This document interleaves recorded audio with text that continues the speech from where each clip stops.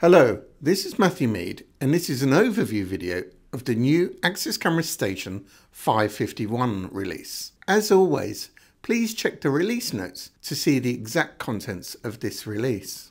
The main feature in this release is the integration of Microsoft's Active Directory into Secure Entry, the access control element of Axis Camera Station. You can now browse to an Active Directory group and map the data from a user profile. Once mapped, the Active Directory group and its details will be imported for all of the users. This really simplifies the configuration of large access control systems, reducing the time taken to configure cardholders.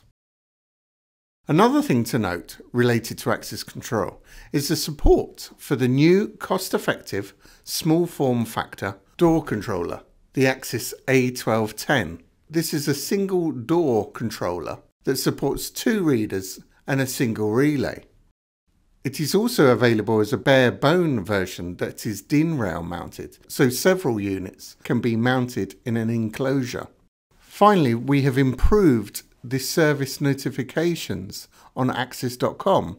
You can now subscribe to updates which will inform you of any planned maintenance or issues with both secure remote access and the license system.